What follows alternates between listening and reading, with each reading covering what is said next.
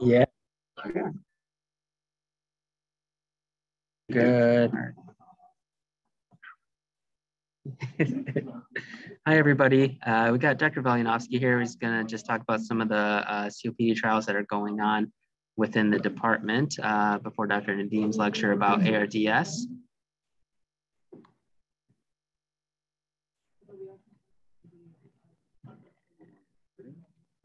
We don't have to have the video. Look at my beautiful hair.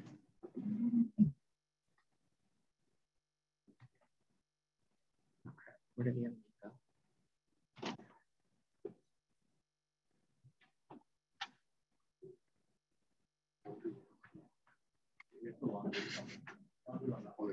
Yeah. All right, ready? Yep.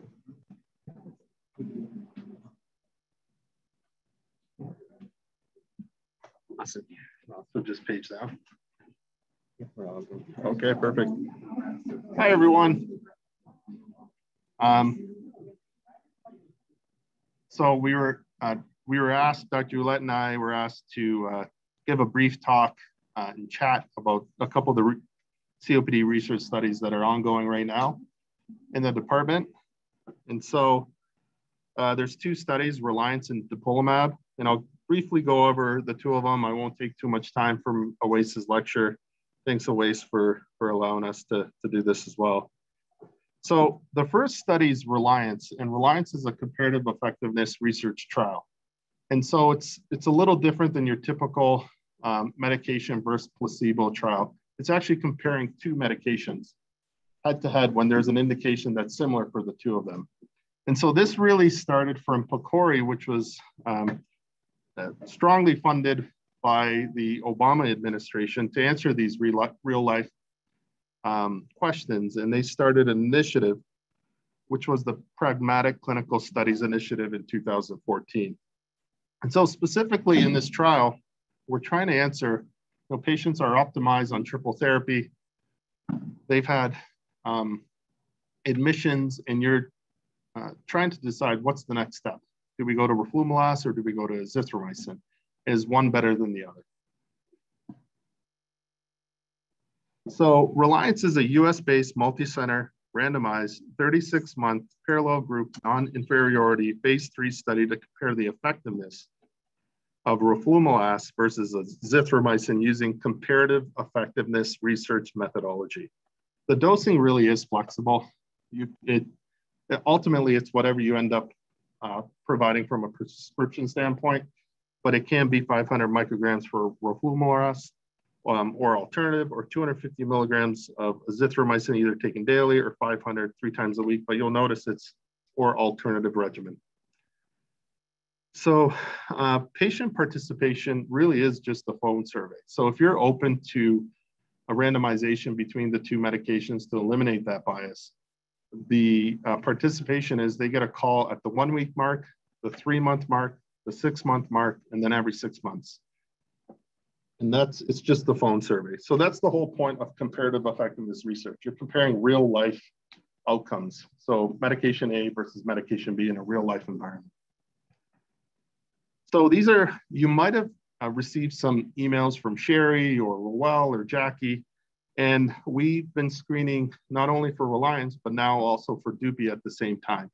We're not telling you that you have to enroll these patients. We're just saying, hey, they meet A, B, C, and D, any of the criteria that are in red. So if we have a COPD patient, a history of severe COPD, they're at least 40, 10 pack year smoking history, and specifically for Reliance, they've been hospitalized with an exacerbation in the last year. That's all that it takes to, um, from an inclusion criteria standpoint. We then email you, let you know that this patient may be a candidate. It's up to you to let us know if you want to um, escalate care to either one of these medications. And again, you have to be open to uh, randomizing these patients as well. The patient does have to provide a contact telephone number too, because the follow-up is by telephone. They could also do it through um, online to answer all the questions, but typically they just follow up through a telephone survey. The exclusion criteria, there's really not that many of them if you think about it. Um, the patient has to be able to provide informed consent. if they do have an intolerance of either medication, um, if they are currently treated with either of the medications, that's an exclusion criteria. If they were on it in the past, it's actually not an exclusion criteria, so you can restart them. If they have a hypersensitivity to macrolide or ketolide. um, known, we essentially eliminate patients during screening. I actually look at their liver enzymes. They have any um, history of liver disease, elevated liver enzymes, or um, in addition, a QTC of 500 or greater, we actually don't even email you uh, upfront, or we shouldn't. In addition, a current pregnancy is also a uh, criteria to eliminate patients or exclude patients. So our goal is uh, one to two patients a month. Our first patient was enrolled in March. Um, we've actually, we just enrolled our sixth patient. Um, one withdrew due to GI side effects. We were the 13th best recruiting site. I'm not sure if that goes up a little bit because we've just enrolled our sixth patient. We also have two that are on our satellite. Um, so the study overall has randomized or enrolled patients predominantly from an outpatient setting. We've actually, um, and that's 87% of the patients in the study. Here at Henry Ford, we've enrolled 67% uh, of the patients on the outpatient side and the other third um, on the inpatient side. Any questions about uh, reliance specifically? So it's a comparative effectiveness research study. There really isn't much or many exclusion criteria. If a patient is optimized on triple therapy and you're looking at what to do next and you're considering azithromycin versus roflumilast, then I would likely consider this, this study. Discuss it with your staff and consider the study.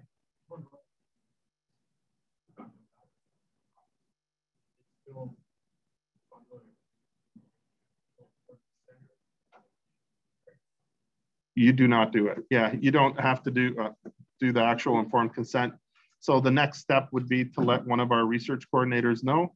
Um, it could be Jackie Rowell. You could also discuss it with Dr. Ouellette, myself, um, as well as Bethany Adams. And you just let them know. They provide the informed consent to the patient often what happens is the patient takes it home, considers it, and then we do a follow-up call and then um, initiate the medication at that. We also look to see if the medication is covered by insurance too. Um, and so we often may tell you that beforehand as well. Good question. And again, the exacerbation has to be a hospitalization for reliance. It can't be an urgent care center, an ED visit. It actually has to be a hospitalization, which is different than DUPI. So Dupilumab is the next study that we're going to discuss. And this dupilumab is a monoclonal antibody that inhibits interleukin 4 and 13 signaling and type 2 inflammation. So it's currently indicated in uncontrolled moderate to severe atopic dermatitis, moderate to severe asthma with an eosinophilic uh, phenotype or oral corticosteroid dependent asthma, as well as inadequately controlled chronic rhinosinusitis with nasal polyposis. So DUPI, Dupixent, Dupilumab, you might hear it referred, any of those names. It's a randomized double-blind, placebo-controlled, parallel group 52-week pivotal study to assess the efficacy, safety, and tolerability of Dupilumab in patients with moderate to severe COPD with type 2 inflammation. So it's a sub-Q injection, whether it's a placebo or DUPI. It's taken every two weeks. A question that's often asked is, um, can the patients administer it themselves? They can after we witness them doing it on their own. Um, our dermatology department uses it often for atopic dermatitis, and they say it's pretty easy to administer as well. The primary endpoint is annualized rate of moderate to severe COPD exacerbation. So the inclusion criteria is patients age 40 to 80, similar to uh, Reliance, 10 pack year smoking history, again, similar they have to be on triple therapy for at least three months unless an inhaled corticosteroid is contraindicated. They have to be obstructed and with an FEV1 to FVC between 30 to 70%. Um, they also have to suffer from chronic bronchitis. And they, uh, for COPD exacerbation, they either have to have one severe or two moderate. A severe is either a hospitalization, an ED visit or urgent care visit longer than 24 hours. So this is different than Reliance um, as well, or um, to moderate exacerbations. So if you have a patient that calls twice and asks for, uh, I think it's a COPD sick note, um, two courses of steroids, they would actually qualify for the study as well. Or one course of steroids and another course of antibiotics on a different visit, that would also qualify the patient for this study. Now, during the screening visit, we see if they have a, an absolute eosinophil count of at least 300. That's the threshold that GOLD recommends for treatment of uh, if, a likely response to steroids as well in, in COPD patients who suffer from type 2 inflammation. So uh, key exclusion criteria. The first is probably the most difficult, and we've come across it a couple times. Patients who suffer from asthma or have a documented history where they've been treated for asthma. So this is where documentation actually kills you in the sense if you have an emergency medicine visit, patient has asthma, or a primary care physician is probably a better example. They, they document asthma, treat the patient, or actually eliminate this patient. Um, most likely eliminate the patient. Other significant pulmonary disease, uh, Dr. Ouellette and myself would, would determine if um, that would uh, exclude them from the study. If they suffer from cor pulmonale, right-sided heart failure, they're using supplemental oxygen greater than 12 hours, MI or stroke within the last six months, heart failure, class three, class four, uh, and paroxysmal AFib as well. There's other exclusion criteria. Those are the main ones.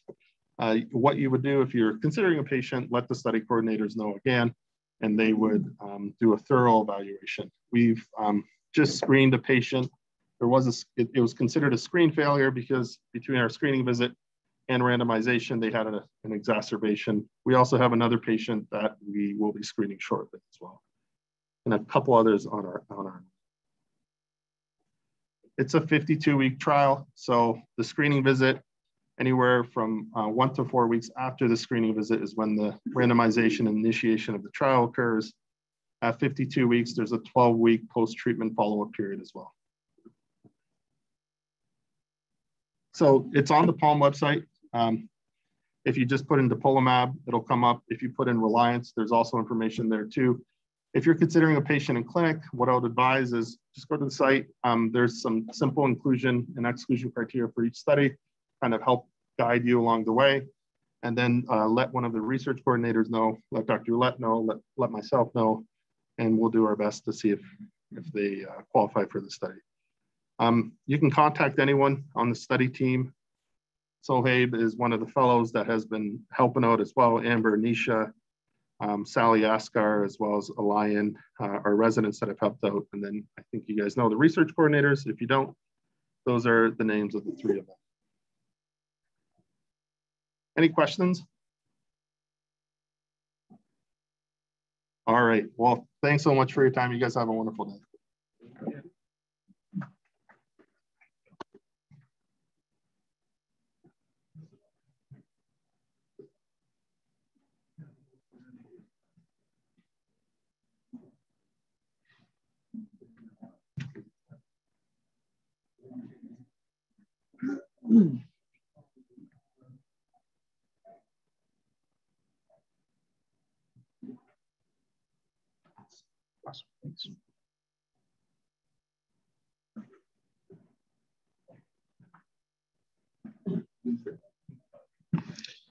All right. Hello and welcome everyone. Uh, I think everybody here knows me, but someone online. Uh, my name is Owais Nadeem, and today I'll talk to you about ARDS.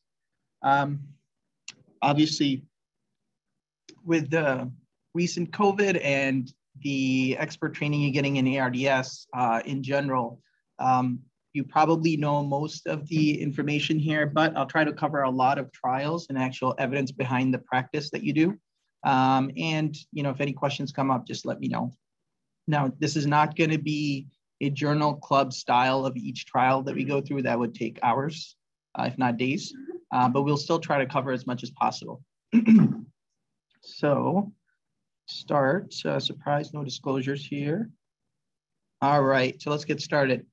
The first time um, ARDS was mentioned in literature uh, was this case series in 1967 uh, by Ashbaugh and colleagues. Um, they first saw uh, 12 patients, this was a 12 patient case series, and they were running through a trend of patients. These patients were short of breath, uh, they were tachypneic, they were cyanotic, um, they were uh, they had bilateral infiltrates. And one of the interesting th- interesting things they talked about on a later article was when they went back and looked at these patients, um, they they had to go find a ventilator and learn how to re- start it up. And then when they connected these patients to PEEP, they noticed that these patients uh, who were cyanotic in blue would turn pink. And when they took PEEP off, they would go back to being blue again. And this was an interesting finding. So they actually submitted this paper to the New England Journal of Medicine and it was rejected. Um, they said they said that it was um, uh, their scathing criticism. PEEP causes cardiac output failure and decreases cardiac output. This is a bad idea. You probably shouldn't be doing this. They sent this to American Medical Association, and the main author is actually a surgeon. They sent it to a journal of surgery. All of them rejected it. Uh, they then sent it to Lancet, and they said this was such a significant finding that this would be the lead paper. So that was actually the case. Um, so that was how it all started. we then go into the, so that was 1967, 70s and 80s. We're looking at a lot of interesting respiratory failure. People are calling it congestive atelectasis, post-traumatic um, uh, pulmonary insufficiency, shock lung, all these different names, which were likely ARDS that were being treated.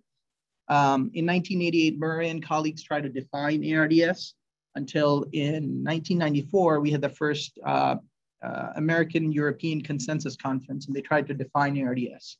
Don't try to memorize this because it's not what you should be, uh, the updated one. So this is acute lung injury and ARDS. So you'll see a lot of studies that had descriptions of ALI and ARDS, uh, where they looked at timing, acute onset. Uh, they had oxygenation defined, but it was odd, less than 300 ALI, less than 200 ARDS. So does that mean acute lung injury is just, you know, uh, 200 to 300? That's kind of unclear. Uh, chest x-ray with bilateral infiltrates, and then uh, pulmonary artery wedge pressures. Back when we used to put in pulmonary artery catheters, you had to have a wedge pressure less than 18. so now we'll kind of talk about all the things that kind of made some of the things here uh, not as clear. Um, this was an interesting study um, uh, by Rubenfeld and colleagues in chest medicine in 1999. Uh, they took 21 experts um, in, from the Canadian uh, Mechanical Vent Workshop and the NIH ARDS Network uh, physicians, pulmonologists who are good at reading x-rays, and they basically asked them, hey, look at these x-rays and tell me, do you think this is ARDS or not? And they showed them 28 x-rays, and these were some of the findings. There's a lot of more of them, but you know, first one, they're like, oh, bilateral infiltrates, that one had 100% agreement. The second one, 80% agreement that that's not ARDS. and the last one's all over the place. So 52%. In this um, study, they actually uh, had a variability from 36% to 71%. Just to point out the fact that it's not easy to just agree on who's ARDS. Okay. Um, the other thing to talk about is uh, use of pulmonary artery catheters. So we'll go back, we'll talk about FACTT trial later on about how it was used um, for fluid management.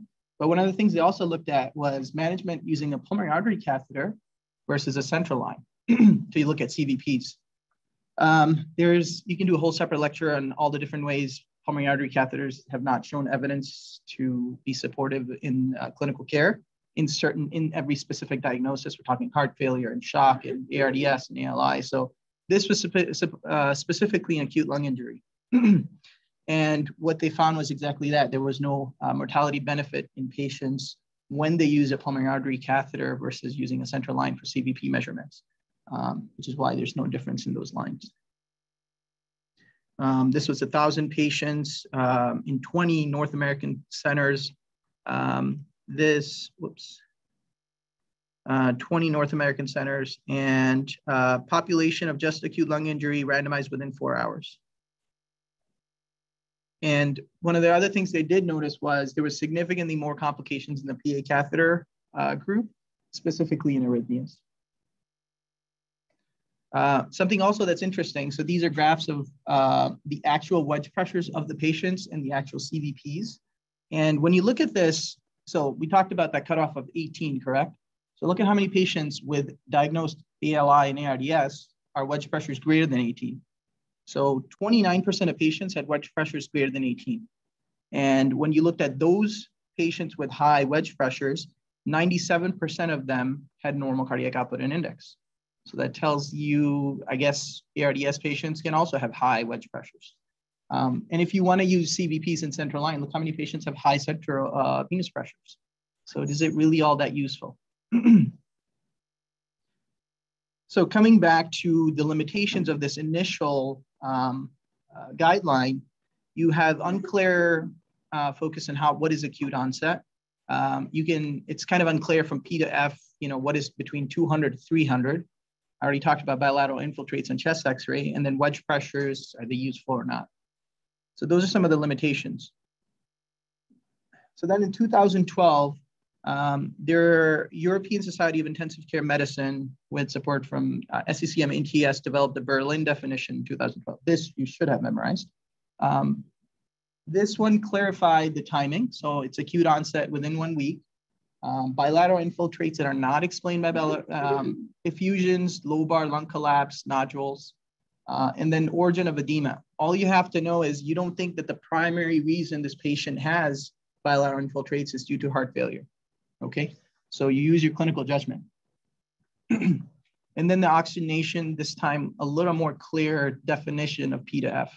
Okay, so again, remember, it didn't talk about which patients were on PEEP and which weren't. This one specifically talks about PEEP or CPAP greater than five, and then moderate and severe. Obviously, there are intubated patients who are requiring uh, PEEP, at least five. Um, the other important aspect of all this was you, you actually see better predictive validity of mortality and outcomes in these patients. So you can see the mild, moderate to severe, the mortality actually goes up based on severity, right? So 27, 32, 45, and free days is significantly reduced. And you see the duration of mechanical ventilation also goes up. So it's a better predictive model. So let's talk about the pathophysiology. So you may have seen this slide many times. Um, I'll try to cover a little bit because I think people skip over pathophys quickly. And when I heard this, this, lecture for the first time, it kind of does stick in your head of why this is happening. Um, let's just quickly talk about the normal side. Now people don't, uh, this is more from medical school. Type one pneumocytes, type two pneumocytes. You guys know which one does what? So a quick review. Go ahead. Uh-huh. Correct. So the type one pneumocyte lines up 95% of the alveoli. It helps in gas exchange. It gets injured very easily.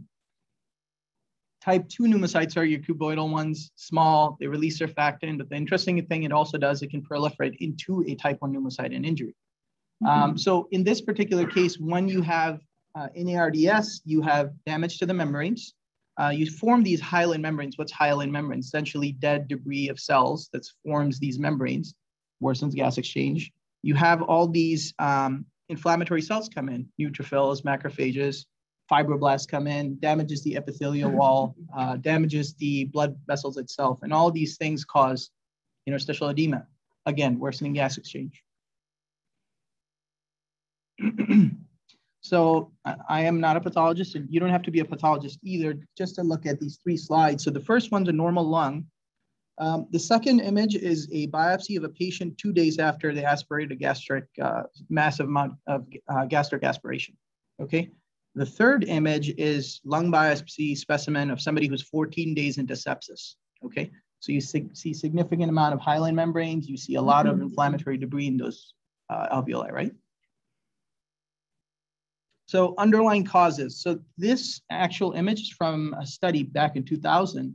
And just to demonstrate that this still holds true, if you look at all the studies from the last two years, you'll still notice the three more, most common causes are pneumonia, non-pulmonary sepsis, um, and aspiration. Okay, so this still holds true. The other causes are still present. All right, so treatment. So let's talk about this is where we'll get through, a, um, you know, you treat the underlying cause and you support the lungs, okay? And that's all I have. It's not. Um, so now let's talk about this trials a little bit. Um, this study was specifically done in acute hypoxic respiratory failure patients. This is not diagnosed ARDS, but this was an interesting study to look at patients who are on non-rebreathers versus heated high flow versus um, non-invasive ventilation. And their criteria fits ARDS if they were then intubated. So this may be you know, uh, most of the patients would fit the criteria into ARDS if they then worsen and get intubated. Um, so this was a multi-centered randomized controlled trial, 300 patients. They were looking at P to F less than 300. In the non-rebreather group, it was more than 10 liters. Um, and then in the heated high flow was 50 liters, 100%. They would titrate down based on oxygen requirements. And the third group was non-invasive ventilation, which they used at eight hour sessions for two, two days, okay?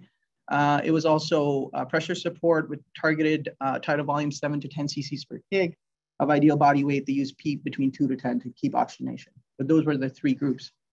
And um, in the first group, you actually see, uh, we'll get to the results, the primary outcome was intubation at day 28. And while not statistically significant um, between the three groups, there was definitely a trend towards benefit of heated high flow. Um, and then when you actually did a, did a post hoc analysis on these patients, and when you actually look at P to F less than 200, um, there was a benefit for heated high flow. It was statistically significant. Mortality at 90 days was statistically significant with difference in, uh, you know, 13% versus 22 and 31. Uh, this was 23 ICUs in France and Belgium and um, randomization within 60, uh, 60 minutes of diagnosis of acute hypoxic respiratory failure. Uh, right.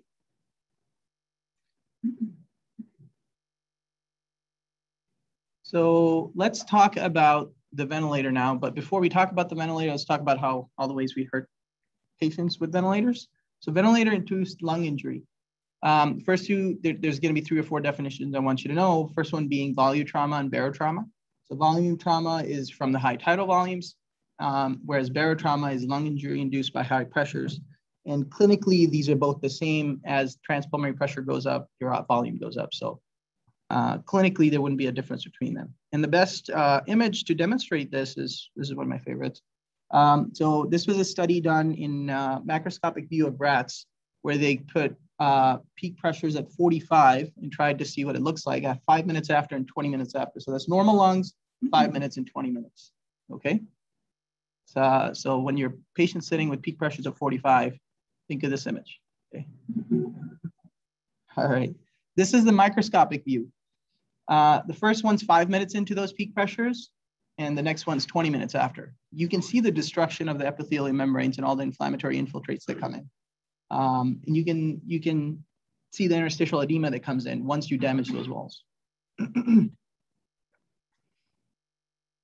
All right, next we'll talk about biotrauma. That's just from the increased stress and strain causing the damage in the barriers. You then have all the inflammatory infiltrates come in. I won't get too much into it because that's essentially what we talked about earlier, right? That's the biotrauma.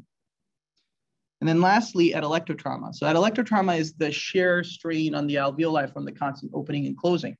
And you know, I, I think this really demonstrates it well, where you look at your uh, pressure volume curves, just like a balloon, when you put air into it, it requires a little bit extra pressure till it eases in, you're able to inflate it. That's your lower inflection point where you start to get alveolar recruitment. Before that, you're running into atelectotrauma.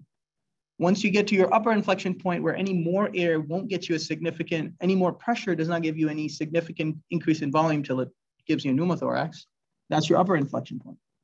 And that's why you're worried about barotrauma and volutrauma, okay? All right, so now we'll start talking about actual trials. And the first and most famous uh, is the ARMA trial, ones in tidal volumes. Uh, so multi-centered randomized controlled trial, 860 patients, where they actually looked at 6 cc's per kg versus 12 cc's per kg. Uh, reading back at some of the literature, they said some people were actually on, you know, not in this trial, but earlier were on 20 cc's per kg, which um, that would be impressive. Um, in these patients, they saw a significant reduction in mortality. so um, when we talk about tidal volumes, going down on tidal volumes concerns us usually about what? Right. So mm-hmm. ventilation, you worry about, oh, what is pH going to do, CO2 going to do? So we often talk about, uh, well, we'll do permissive hypercapnia. What do you what do you guys normally practice where below this pH I'm not really comfortable? Yep. So that was actually in the trial that it was pH of 7.15. So you hear that, you know, at least in practice, that's what they use in the trials too. Um, they used the lowest tidal volume of four cc's per kg. They wouldn't go below Mm-hmm. that. And the pH of 7.15, they wouldn't go below that. Um, but be mindful, they did use bicarb infusions whenever they needed to to maintain a good pH. So despite the low tidal volumes, they actually had really good pH. That was because they tried to correct it as much as possible. the trial was actually stopped early because of the significant benefit. Um, vent-free days was were also significantly uh, reduced. And the interesting part is, and I'm going to talk about this again later, uh, in 2016, they did a study internationally. It's, it's quite an impressive study, and we'll talk about this after the lung safe study. They looked at that and to see what is the actual management out there in clinical practice. And two thirds of patients um, are being managed at less than eight cc's per kg. And 60% of people, 16 years later, later after this trial, are 60% of patients are still more than seven cc's per kg. So there's some room for improvement here, right? Um, all right. Uh, the P to F in this uh, group was, just to know the severity of the disease, was uh, average 136. So next we'll talk about PEEP. And the three main PEEP trials that you will you should know about are alveoli, lung open ventilation strategy, and express. Um, they all compare to the low PEEP strategy, which is at the top. There's the high PEEP uh, from alveoli, high PEEP from lung open ventilation, and then express. The main difference being, uh, so let's just look at 0.5, for example, and where the PEEP stands for all of them, okay? So 10 versus 16 versus um, 14 to 18. So actually, the last two trials had to have a pre-protocol change and post. You guys know why? Basically, physicians that were being told to do these protocols weren't comfortable. So first they had to slightly keep lower PEEPs and say, hey, try this out. And when they felt more comfortable, they went up on the PEEP further.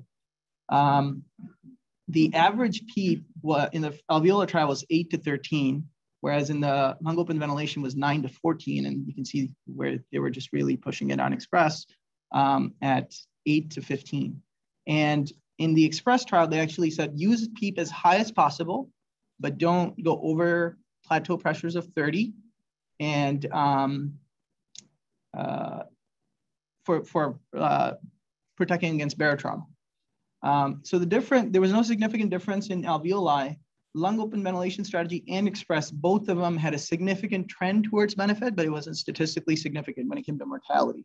But it did show statistical significance in lung function and hypoxemia. So you were oxygenating significantly better, okay? We then go into the meta-analysis of these uh, studies. So actually the three main trials are driving this meta-analysis and you see the forest plots, Brower, Meade, and Mercat are the three studies that we just talked about. And when it comes to mortality, there's a trend towards benefit, but it's overlapping one, so it wasn't statistical significance. But in hypoxemia, you can see the significant benefit of it. And when we go then to this driving pressure, so someone actually, uh, um, Amato et al. Uh, group actually went back at the nine randomized controlled trials and tried to uh, do an analysis of these studies. They looked at patients that when they maintained a PEEP and at, if for the same PEEP, your plateau pressures were rising, your mortality rate actually goes up. For the, if the PEEP is rising and the plateau pressure rises at the same time, so your driving pressure, which is plateau minus PEEP, does not change, your mortality doesn't change. And then looking at your uh, last group, if going up on PEEP does not increase your plateau pressure, essentially your um, driving pressure is reduced, your mortality actually goes down. So it kind of explains this whole idea, well, you don't just keep going up on PEEP, there's more to it. How does that affect your peak pressures? How does that affect your plateau pressures? Um, and are you recruiting or are you causing barotrauma? And you don't know this until you at, you see what your where your patient stands, right?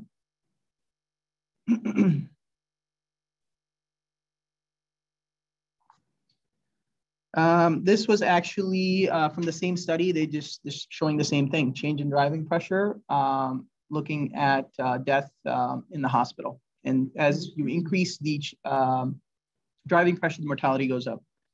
That lung safe study I mentioned earlier, in this uh, study, they actually found a cutoff that if you start going driving pressure above 14, mortality actually goes up, okay? All right. So let's talk about stress index. This often, uh, it's often brought up. Uh, just so you know, by the way, the study was done on 15 patients, uh, 2007. Um, first, they actually tested this in rats, and then they did this in um, uh, pigs. And what they did was they would um, increase the peak pressure based on the pressure volume curve, okay? Um, uh, pressure time curve, sorry. And that, does that indicate elastance? And the way they looked at that was they would then CT scan these uh, animals and see if there was more aeration or less based on Hounsfield units. Um, they then did this trial, which was a, um, uh, they would look at the slope of this curve, the pressure time curve. And if it was one, that means the elastance is not changing with increased PEEP. Um, if it was less than one, that means there is uh, decreased elastance, um, elevated, uh, there's decreased elastance and there's room for PEEP to go up. And then at the very end, you would, um, if the stress index is greater than one, elastance is actually increasing, okay? Just to think again about, are you recruiting or are you causing more barotrauma, okay? Um, in this study, just so you know, they shut off auto flow, so it's constant flow. These patients were paralyzed, okay? So they used vecuronium and Versed. It was kind of unclear, did they use train of four, were the patient properly paralyzed or not? Won't get into that. Um, PEEP differences in this study were, um, th this specific study looked at using um, st uh, stress index PEEP versus um, ARDSNet PEEP, okay?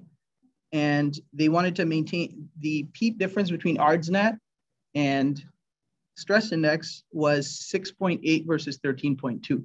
So by using stress index, they were using significantly less PEEP. The other thing that's from a clinical practice perspective, you have to, they did this every hour for 12 to 24 hours. So this constantly changes in your clinical practice. Would you then go to the ventilator, look at the pressure uh, time curve, and then change the settings every single time? And you, you know, being realistic, are you able to do that in your patients? And that's why there's many ways of applying PEEP. Is this a realistic way of applying PEEP? All right, so let's talk about recruitment maneuvers. We often hear about this, and in general, how with a raise of hands, how often have you come across a respiratory therapist trying a recruitment maneuver? Are you trying one yourself? Okay, all right. So in general, recruitment maneuver is you apply a high amount of PEEP for a very short period. Some studies talk about using 30 of PEEP, 40 of PEEP for 30 to 40 seconds and then going back down, okay? Um, before actually talking about the trial, I'll go to the actual protocol of this study, which is interesting. Um, they would start at PEEP of 25. So there's two, two uh, groups. They're using um, table PEEP versus, uh, and no recruitment maneuvers versus using recruitment maneuvers. By the way, all the other studies I just mentioned earlier about PEEP, they use recruitment maneuvers sporadically in them, okay? So using people 25, every minute or two, they're going up by five, 25, 30, 35, while keeping a peak pressures of 50. So imagine the effects of that. And then titrating down, okay, till you're able to get an ideal PEEP. And then you would just do this, repeat the recruitment maneuver without titration, okay? Um, it didn't go well. So multi-centered randomized controlled trial, 120 ICUs, nine countries. They were able to get a thousand moderate to severe ARDS patients. And there was a significantly increased mortality at 28 days and six month mortality. Um, not surprisingly, in the middle of the protocol, the middle of the study, they had to change the protocol because they were having too many cardiac arrests. Um, yeah. And interestingly, they never looked at RV pressures or looking at the right heart in these patients prior to doing these maneuvers. Um, but you can imagine how it would drop the cardiac output and cardiac index. Uh, you have decreased vent-free days, increased risk of pneumothorax and barotrauma, and need for vasopressors. So to really say what's driving this mortality, is it the hemodynamics or is it actually the um, recruitment that you're doing? So recruitment maneuvers are bad. Um, let's talk about paralysis. So there's two trials that I want to that I think you should know about: ACURASYS and Rose. Okay, so we'll talk about this initial trial, multi-centered randomized controlled trial, 340 patients. Uh, they used cisatracurium. Uh, they used um, an initial 150 milligram bolus rapid infusion and then 37 and a half milligrams per hour for 48 hours. Okay. Um, surprisingly, they did not use fours on these patients uh, when they initially did this. So there was some question, you know, they used Ramsay scores for sedation. So the question was, were the patients truly paralyzed? But um, they used Ramsay scores.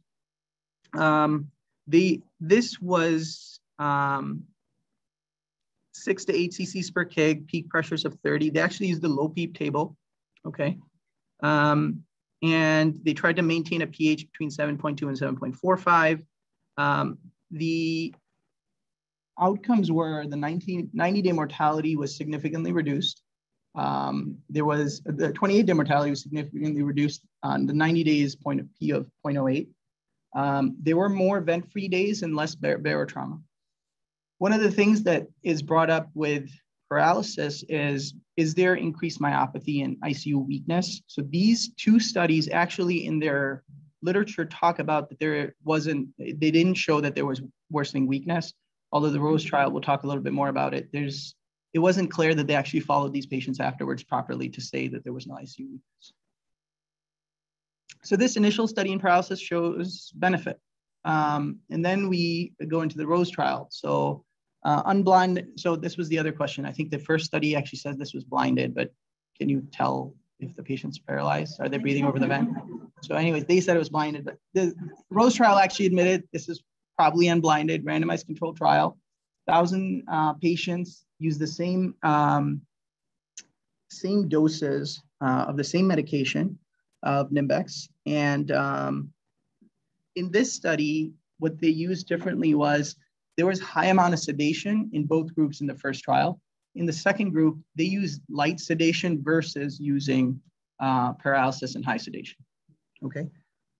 Um, the other thing that was different, so the enrollment was a lot quicker. I think in the first trial, enrollment was within 16 to 24 hours. This was less than seven. On average, it was within seven hours. So patients were diagnosed and, uh, and enrolled right away. Um, and then you had your uh, 48 hours of um, paralysis. The average P to F was pretty severe, so 99. Um, they did see more ICU weakness, more cardiovascular events in patients who were on Nimbex, but definitely less tra trauma and um, barotrauma and pneumothorax. So one thing you do obviously are work against uh, the pressures that you get from your chest wall. You're counteracting that, and they saw less of that in the Nimbex group. Um, those were kind of the, there was more PEEP um, used in this trial than in uh, ACURASYS. But again, overall, no difference. And I think Henry Ford also enrolled in that trial here. Because I remember somebody coming up to me and saying, can I paralyze your patient? I said, go right ahead, if they fit the criteria. All right, so let's talk about paralysis. Uh, this is a favorite topic, uh, often because people will try to ask you, can we not, you know, prone this patient? And you have to justify it. Um, so there are some good questions to, uh, you know, good answers to know A, who should be proned, uh, how long should they be proned, when should you stop proning.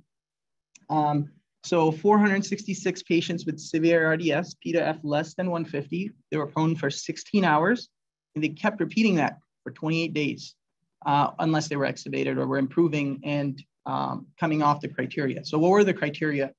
Um, if your P to F gets better, than 150. And of course, remember this, and I always get told, oh, PDF is great, PEEP 16, but PDF is great. Um, so if p has to be less than or equal to 10, FiO2 less than or equal to six, and you have to demonstrate that for four, four hours post supination. Okay, so just so you know, when they tell you you don't need to prone anymore.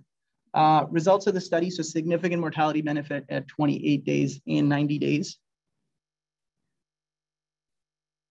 So the average P to F used in this group was 100, so still quite severe, or in the severe category, 100 or less. Um, the interesting part was they actually used a low PEEP table on this study, uh, which I thought would have been high PEEP. 40% uh, received steroids. Um, prone sessions on average. So I was thinking, well, how often in this study did you, if I asked you, well, how many sessions does it normally take before somebody improves? So on average, it was four sessions before they saw significant improvement that they didn't need to do any more sessions. Uh, at least that was the trend, four plus or minus four standard deviation. And the average duration was 16 to 17 hours. So they were actually being, you know, thorough about getting it done. Um, there was a higher incidence of cardiac arrest in the supine group, one that was not prone. And I'm guessing that's from hypoxic respiratory failure, non, you know, not improving. Um, pressure sores were more uh, of a problem in your uh, proning group. And um, so this is actually from the study, ventilator settings could be adjusted at any time, regardless of patient position. So we often brought this, bring this up to, hey, RTs are like, it's gonna get worse, I'm not gonna touch the vent.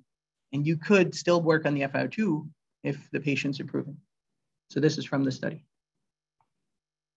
All right, let's talk about steroids. Um, so two main steroid, steroids, earlier steroid studies to know about from 2006 and 2007. Um, one is from Steinberg, which is ARDSNet, and the other one's Meduri protocol.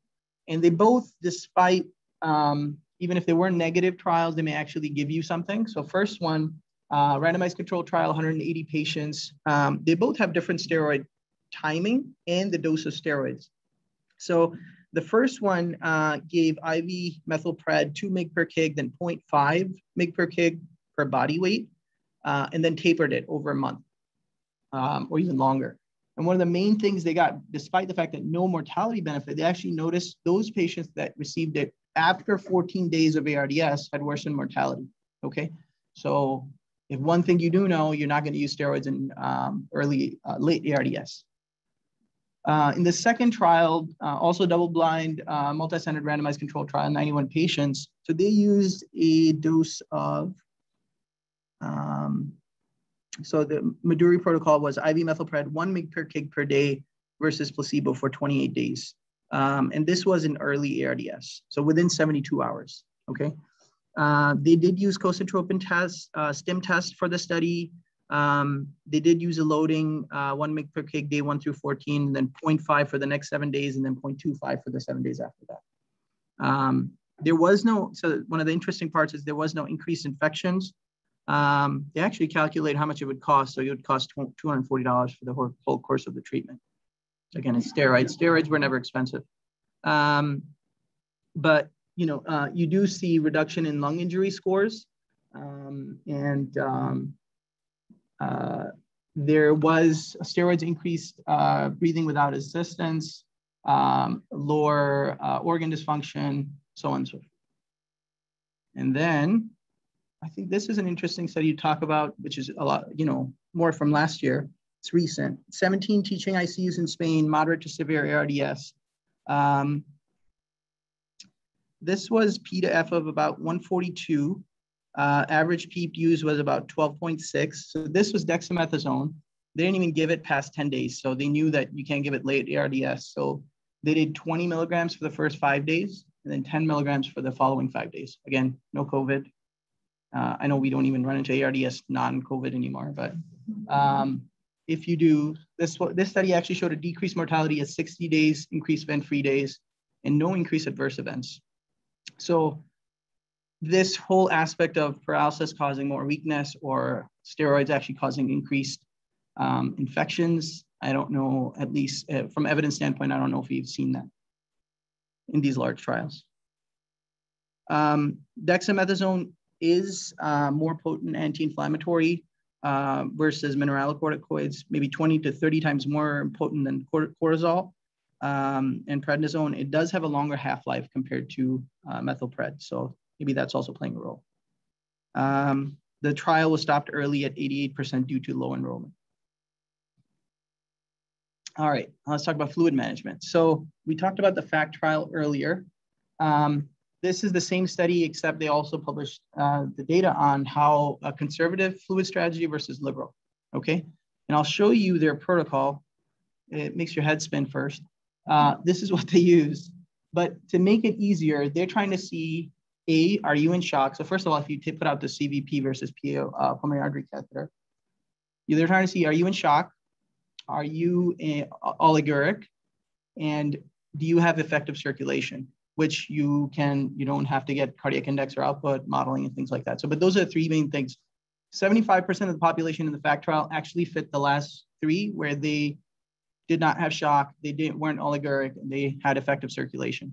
Okay, so most people end up in those last five boxes, but in general, this is the protocol they used, and this was the actual outcome. So no difference in 60-day mortality, but definitely improved lung function, decreased vent days, ICU length of stay, and actually did not increase shock or dialysis. So that was one important aspect, right? We oftentimes have tons of fluid bags hanging on our patients in the ICU, and at the very least, they're required to be euvolemic, if not actually diuresed further. And they didn't have increased uh, renal failure or, shock, uh, or dialysis in these patients. Correct. Yep. So they would use, um, I believe they did use Lasix. Yep, furosemide.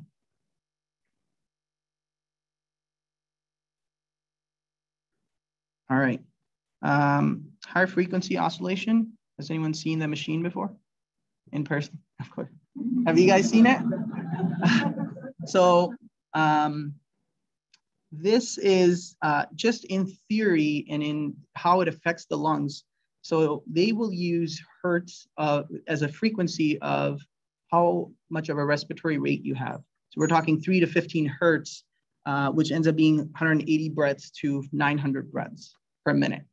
Now that's a significant amount of air movement where you don't, the, in theory, less atelectasis, so you don't even have time to collapse of the alveoli. You maintain um, lower pressures, okay? And you don't end up giving significant tidal volume. So in theory, it sounds great. And they actually use this in animals. Uh, they did say in the animal models, they created ARDS by giving saline lavages. And I don't know how much that applies to real ARDS in humans. Um, but this is, uh, these are the two studies you should know about, OSCAR and OSCILLATE, okay? So OSCAR, they were both published at the same time in New England Journal of Medicine. Um, multi-centered randomized controlled trial, 795 patients, p to f less than 200, uh, high frequency oscillation versus usual. They both use, both, so this is a separate ventilator. Uh, they used different ventilators. They used different I to E ratios because the first one's one to one, the second one was one to two. Um, and you can imagine these uh, using breathing in this way requires a lot of sedation. It's not the most comfortable. It's not nat doesn't feel natural. Um, but you know, the first study didn't show any 30 uh, difference in 30-day mortality. The reason you don't see it anymore is because in the second uh, oscillate trial, it showed an increase in in-hospital mortality. Okay. Um, so um, they saw significantly higher sedation, higher neuromuscular blockade. So you're having to paralyze these patients. Um, and it is still used in neonates. Uh, I actually went for an interview somewhere and they were really proudly showing me their high frequency oscillations. I was like, I haven't seen it and I don't know why you have it. We, sh we shouldn't be. Here it is. Yeah. Yeah. All right. Uh, so let's talk about ECMO. Um, two, two trials to know about. One is much earlier, one's more recent. So uh, CESAR and Eolia. Uh, so CESAR trial, uh, 22 treatment centers, they actually, so the, they were trying to look for how does uh, ECMO benefit in um, ARDS, but I think what they ended up studying here is the difference between a tertiary care center that provides ECMO type care versus not using, versus being, where are you transferring patients from, okay? Um, so your triage calls. Um, so the things that we're looking at, uh, P to F score, chest x-ray quadrants, PEEP and compliance. Um, they were also looking at, um, so the patients they enrolled were severe um, AR, uh, acute respiratory failure, Murray score greater than three, hypercapnia, um, where they really weren't ventilating. 61% um, of these were pneumonia, ARDS, and 29%. Uh, this is again during the H1N1 um, epidemic. The weaknesses of these trial again, so it's not really showing ECMO, but actually ECMO centers. 93% uh, in the intervention group versus 70% in the control group uh, were treated with lung ventilation strategy. So that's kind of, there's a big difference there. Um, proning was the same, but it was only done in 30% of patients. You would think you would want to prone more before you say that you don't need this. Steroids were used 84% versus 64%. And then they even use high frequency oscillation 7% versus 14%. But uh, this is from 2009, so it's okay. Um, uh, with the primary outcome, outcomes being death or disability. So while they did see a survival benefit, there were a number of patients that were put uh, in the ECMO category but never needed ECMO. So when you get these triage calls and they say this patient has respiratory failure, they need ECMO, and they look terrible and they're on people like eight when they come to you, and you're saying just send the patient to me, and then you find out most of the time you can optimize them and you don't need ECMO. Um, all right, so this was the CESAR trial. So let's talk about Eolia. This was um, published in 2018, New England Journal of Medicine. Uh, 20, um, 249 patients, severe ARDS, and the criteria tell you how severe it is. So P-F less than 50. Uh, most trials we've looked at here are between 99 to 130 to 140 in severe, uh, moderate to severe ARDS. So P-F less than 50 for three hours, P-F less than 80 for six hours. Um, they're really not ventilating anymore. Their pH is less than 7.25 with CO2s that are greater than 60 for six hours. So that was the criteria used. Immediate VV ECMO versus conventional management. Um, this study was actually stopped early for futility, despite the fact that there was actually a trend towards benefit in the ECMO group. 28% um, of control patients crossed over to the ECMO side uh, for refractory hypoxemia. And then you actually see that their mortality, the crossover patients was 57%. That's much higher. Um, so the mortality in the um, in the control group is 46%. That's what you expect, but that's a quite a mortality benefit. And I don't know if patients have a really poor chance that they were just excluded, and that's why you see a significant mortality benefit. Um, they use PEEP per the EXPRESS trial that I mentioned, so a lot of uh, higher PEEP. Uh, neuromuscular blockade, um, prostacyclins, nitric oxide recruitment maneuvers, all that was used if needed for refractory hypoxemia. Um, before randomization, they had 59% that were proning. As you see more, you know, more recent studies, we're doing the things we're supposed to do more often. So 55, 59% are being proned, 74% uh, required pressors, uh, in the control group, 90% are being prone. Of course, you don't have ECMO and there's not a lot to do. You at least do the things you do have. Um, average P to F was uh, 73 in the non-prone group, I mean, non-ECMO uh, group. Um, so again, but it did show benefit. All right oxygenation goals. So we often talk about anytime anybody asks you, well, what's your PO2 goal? We talk about 55 to 80 from the ARDSNet trials. But this was a study, uh, LOCO2 trial, multi-centered, um, random, uh, randomized controlled trial where they used 205 patients in uh, French ICUs. And they were able to find that in the more liberal strategy, so again, 55 to 70 versus 90 to 105, there's no difference in 28 day mortality, you do see a trend to benefit. Um, and there was uh, five episodes of mesenteric ischemia that was seen. The interesting part was, at least for me, where the people that had the highest mortality where PaO2 is less than 67. The lowest mortality was between 87 to 93. Okay. I'm also on that side where I try to use the least amount of PO2 to keep weaning the ventilator because I want them to come off the ventilator. But I think there's probably a balance to be had here where we are not just being super conservative. They're pretty hypoxic and we're weaning aggressively because um, that also has, um, you, you, you hurt the patient when you keep them on too long with high PO2s. You also hurt the patient where you're being way too conservative. So I think we have to find a balance specifically to our patients. Um, all right, those were the kind of the main trials I wanted to talk about. There all these other trials. The hint is a lot of these were negative trials. But there are all these other trials done in um, ARDS, uh, if you want to read about them. Uh, I, before we end, I do want to talk about the LUNG SAFE study. So international, multi-centered, prospective cohort study. It's very impressive how many um, centers were used, 469 in 50 countries, five continents, quite an effort. And they had 29,000 patients, of which 10% were ARDS. Uh, the interesting part was, so they had clinicians actually um, looking at the charts and their x-rays to assess who had ARDS. Clinician recognition of ARDS in this large uh, prospective study was 60%. Um, they actually were seeing who would diagnose early versus late, and 36% were diagnosed quite late. Um, they two thirds received tidal volumes less than eight. Okay, so again, we can't, we're not doing tidal volumes, right? Uh, plateau pressure was only checked in 40% of patients. Uh, PEEP less than 12 in 80% of patients. Proning was done in 16% of patients that actually have severe ARDS. So, um, and these were actually the mortality of these uh, patients. And I think this kind of summarizes ni nicely that, you know, it's under-recognized, it's undertreated, and you have significant mortality and you have a lot of room for, you know, improvement. So, so kind of my take-home points. Um, but at the end of the day, try to individualize therapy to your patients. Okay. These are my references. Thank you.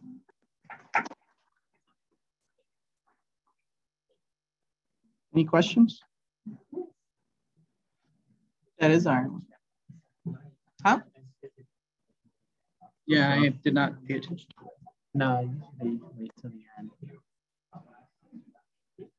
No, no, that was awesome. All right, cool. Thank you. Yeah, no problem. I go over the, I went over, but You were perfect. All right.